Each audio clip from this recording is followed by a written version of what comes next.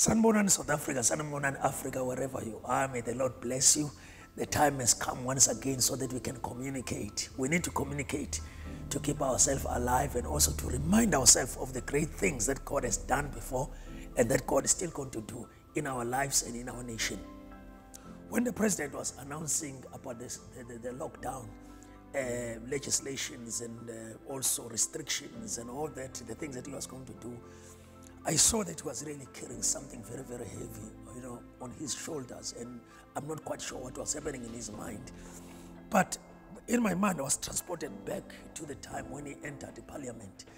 You know, he amazed us uh, because he read the book of Ezekiel, chapter 37, where the Bible says, The hand of the Lord is upon me, and he brought me out by his spirit of the Lord and set me in the middle of the valley. It was full of bones.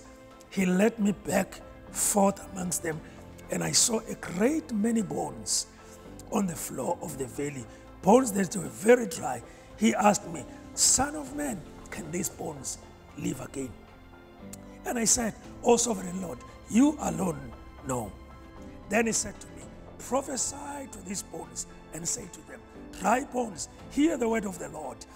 And this is what the sovereign Lord says to these bones I will make breath enter you, and uh, you will come to life. I will attach tendons to you and make flesh come upon you and cover you with skin. I will put breath in you and you will come to life. Then you will know that I am the Lord. We all know that as we read the scripture, the Bible says, now he began to prophesy, and a great army arose in that valley. We see Ezekiel here being transported into a valley of dry bones. It's a scary picture. It's a picture of the valley of the dead. People are dead. Little did we know that really this was prophetic. And he visited us in our church uh, Passover convention. And we, we presented him with this scripture again, just reminding him that he must put this in mind. But one thing that is uh, coming into my mind as I think about this again, because the Bible says the steps of righteous men are ordered by God. We begin to trace back and see what is it that God has been saying about this man and about South Africa. And so the Lord gave a prophetic word in that meeting to me, and I said to him, We are going to have the most difficult time that any president in South Africa has ever had.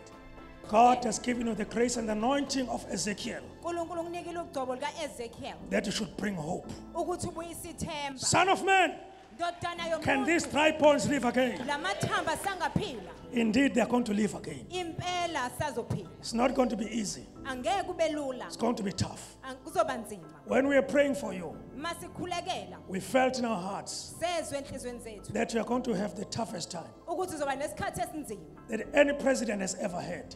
Kunoma yimuphi upresident uke waba naso But the Spirit of God will take you through. Makube njalo, ma- Kube njalo, ma- It's amazing. As I look back, uNkulunkulu usakhuluma namhlanje. God still speaks today. And, um, and at that moment in time, things were coming right. I've met so many politicians who say to me, Pastor, what was wrong with you? Why did you say, you know, things were going to be bad? Because everything was okay when the president took over. The Lord who sees far beyond what we can see, He already saw the chain of this man. But listen to this. When God said that, He said, God will see him through. It was just about him, but not about him. It is about the whole country. So look, connect that with Ezekiel chapter 37. The valley of the dry bones. Can these dry bones live again? In other words, there is no hope.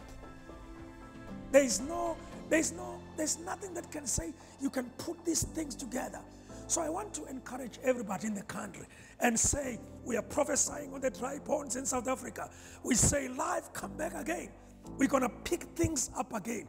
Then the Bible says he prophesied and said, dry bones live again. It's a scary picture of dry bones dead.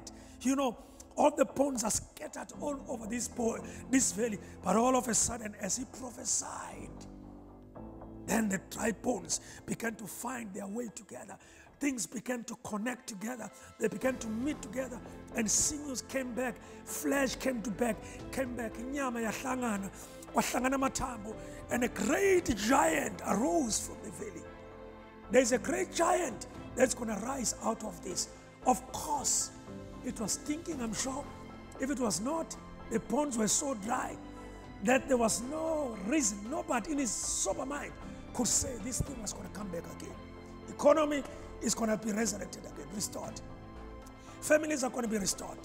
You know, um, um, uh, churches are going to be restored back.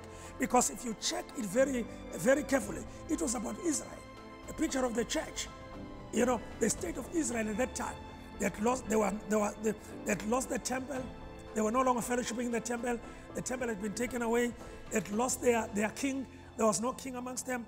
They had lost everything. They had lost their identity. Doesn't it look the same like what is happening today? The church is no longer meeting in places, is no longer meeting in that particular places. There is a loss of hope. It's like the bones are dry. But we prophesy dry bones, live again. It's, it, it sounds insane. It sounds like right. But that's the power of the word of God. The word of God is able to be spoken where there is no life. You remember how God created the heaven, the earth in particular, in the book of Genesis, because the Bible says, you know, the earth was formless and desolate, and the Lord began to speak the word of God. He said, Let there be. So that's the power of the church. We are saying, Let there be. Israel, Church of Christ, Jesus Christ of Nazareth, South Africa, and. We are prophesying, we are going to again connect sinews upon sinews. May the Lord bless you wherever you are. I'm just speaking the message that is coming into my heart that God is going to reconnect us again. Let us just stay for this, for this, uh, uh, how many days? It's just uh, uh 21 days. Let us stay. And at that time, let's not keep quiet. Let's prophesy. Let's prophesy over economy, prophesy over health, prophesy over the health system, prophesy over the president, prophesy over the politics of our country, prophesy The dry bones will come again. And the Bible says, you know, the spirit of the spirit came upon these bones. The wind began to shake everything around. The Holy Spirit is going to come again. I'm reminded of a song. The Holy Spirit must come down. South Africa will be saved. The Holy Spirit must come down. And Africa will be saved. The Holy Spirit must come down. The whole world must be saved. Woza moya, woza moya, oh ingcwele. Wehla umoya, avuka amathambo, aphila ahlangana. A bigger man than the man who fell to the grave, who fell to the valley, is going to rise. God bless you. Don't lose heart. Be courageous. I'm prophesying over Africa. I'm prophesying over South Africa. I'm prophesying over your home, wherever you are.